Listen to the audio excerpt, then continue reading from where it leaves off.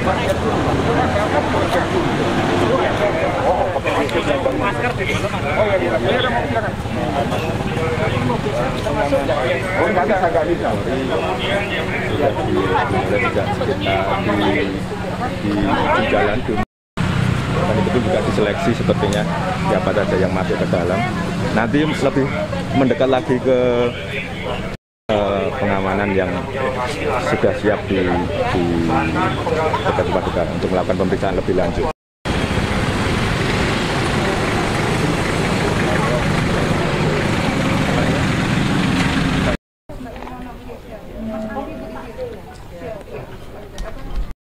Dia di sini ya? Bro, geser sini, Bro. Sini, sini. Ah, kono kono kono kono. Sini. Sini lagi. Ini aja ya. Di sini, Bapak. satu meter satu meter Dorong, nah ini satu meter lebih. Ini ya? Ini ya? Keras ya, Pak. Sirinnya, sirinnya, sirinnya. Izin belum, Bapak. Masih banyak di standby. oke Itu matikan dulu, Kang. Sudah oke. Kang. Alarm tuh matiin. Alarm, alarm. Balik gedor orang gitu. Teman-teman media oke lagi. Silakan Bapak. Ya ya.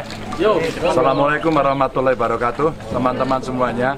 Baru saja saya bicara dengan keluarga bersama Pak Kapolda dan Pak Pangdam dan saya diminta untuk menyampaikan kepada masyarakat terima kasih atas ucapan bela sungkawa, terima kasih atas doanya semuanya.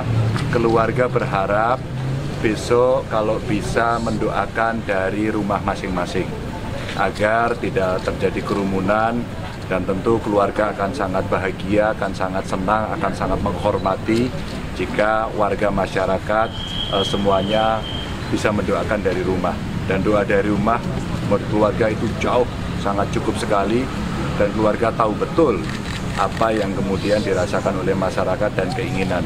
Saya kira eh, pesan pendek ini ingin kita sampaikan kepada seluruh masyarakat sekali lagi agar semua besok bisa mendoakan dari rumah saja. Itu yang ingin saya sampaikan yang pendek pesan dari keluarga. Berarti pemakaman besok pagi. Ya besok jam 1 Besok jam 1 di Karanganyar. Tadi teman-teman sudah mungkin yang lain sudah mendapatkan informasi itu. Itu ya. Wes itu doa aja pendek. Ya, ya, suan suan suan.